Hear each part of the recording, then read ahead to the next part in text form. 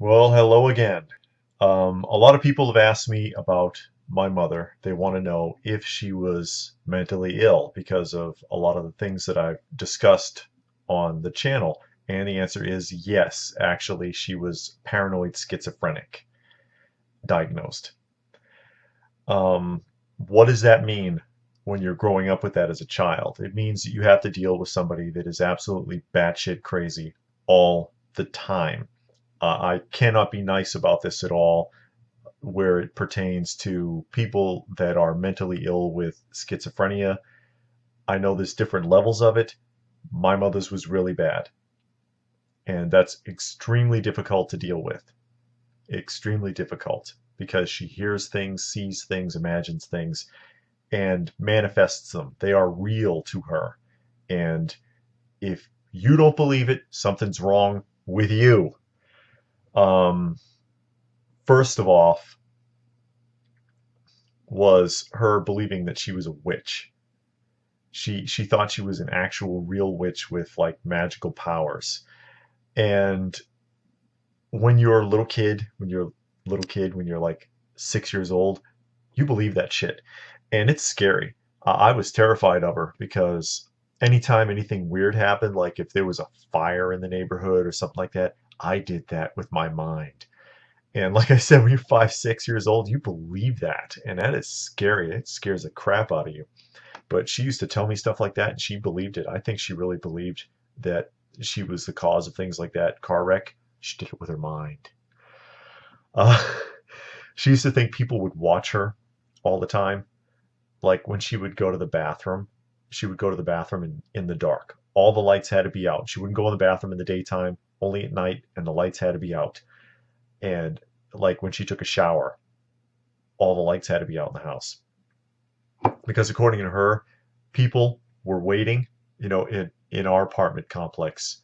Uh, I told you I, I grew up in a housing project.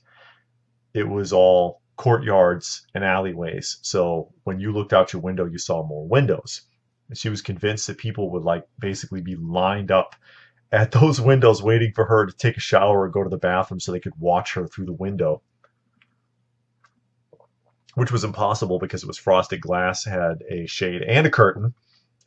but don't tell her that. Had to be showered in total darkness because men were watching. They're all up in those windows watching as soon as she went in the bathroom. And they could see the shape of her body somehow. They would watch her silhouette. And I never got that one. I was like, how's that possible? Well, I, I don't know. Apparently, no one else does either. Uh, she used to hear people that weren't there Marta, Marta in particular, that one used to drive me crazy.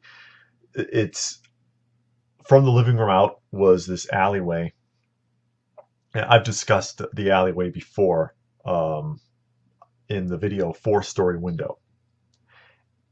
And across this alleyway apparently was this prostitute named Marta, this uh, Hispanic woman, uh, Cuban or Puerto Rican or something, I thought she said. I don't remember exactly. But she used to say all the time she could hear Marta servicing her customers, and they'd be screaming, "Ooh, Marta! Ooh, Marta!" And I didn't hear anything. I'm like, "Who? What do you hear?"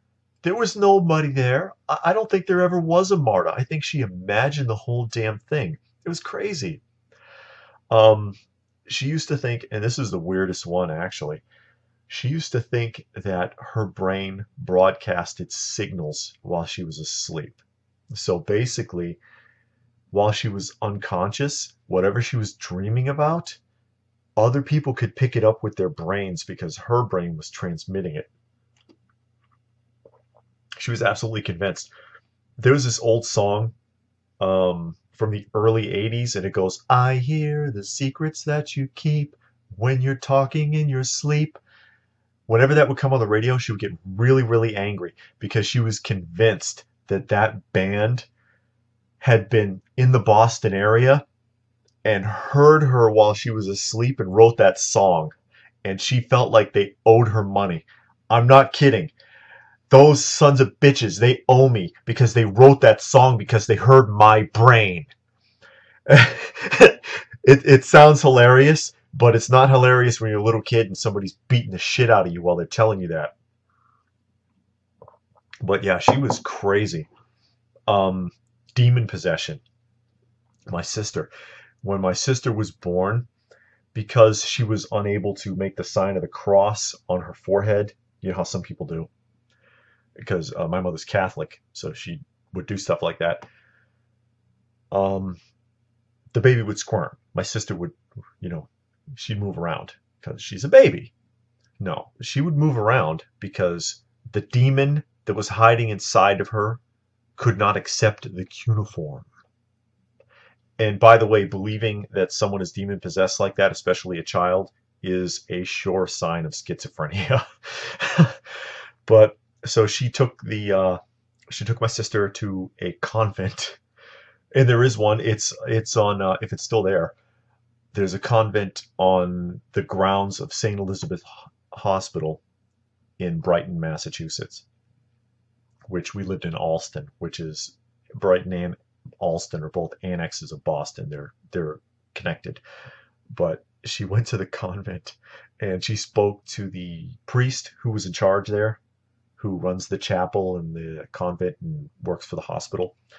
And fortunately, he was able to convince her that a baptism would be enough to uh, to satisfy whatever it was my mother was worried about.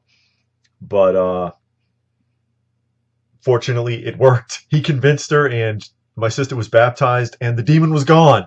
So we didn't have to worry about that anymore. Um, my sister was not exempt from any of this kind of uh, schizophrenic craziness either. After I had left home, I got out of there as quickly as I could at a fairly young age. but when my sister was there, um, as I pointed out, this was a housing development. And you know uh, that they do regular inspections. They come around to these properties and check them out and make sure everything looks okay in the apartment. You haven't destroyed it or turned it into a crack house or a whorehouse or whatever they're paranoid about um, from these management companies. And they did their inspection forcibly because she always resisted it. I don't know how they got in because when I was living with her, they never got in. The inspection people never got in, and the exterminators never did too. That's a whole other story. But they got in, they looked around, gave her a clean bill, and left, right? And then it was batshit crazy time. My sister had told me that all the rest of that day, all through the night into the early morning when the sun's rising back up. They took the entire apartment apart and searched through absolutely everything there because they were not from the management company. They were agents of the FBI and they had been in the apartment to plant hidden cameras and microphones. and they spent all that time, God, she she said maybe 20 hours, searching through everything, checking the pockets of the clothing, uh, under the drawers, under the carpets. They moved the furniture and checked under the rugs. And I'm like, how did how did they find time to hide all that stuff? Obviously, they never found anything because they were not from the FBI. But I mean, that's just an example of the kind of things you have to deal with when you're dealing with somebody who's full blown paranoid schizophrenic. They are crazy and it's hard to deal with. It's hard to live with that. It's hard to care for it. And, you know, you ask yourself, um, why didn't I tell anyone or, you know, whatever. Everybody knew. Everybody knew. Everybody knew she was crazy. The the management people at the at the at the apartment complexes because we had we lived in two. Um, my sister it was three because she had moved again, but they all knew. Uh, the Department of Public Welfare knew, the social workers knew she was career welfare. She was a mental disability. She got full benefits, uh, cash assistance, food stamps, Medicaid, clothing allowance, all of it.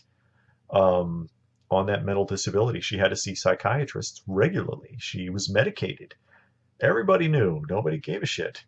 they just they didn't care. They didn't care what she did or what she did to us as long as she stayed out of their hair. It, it didn't matter.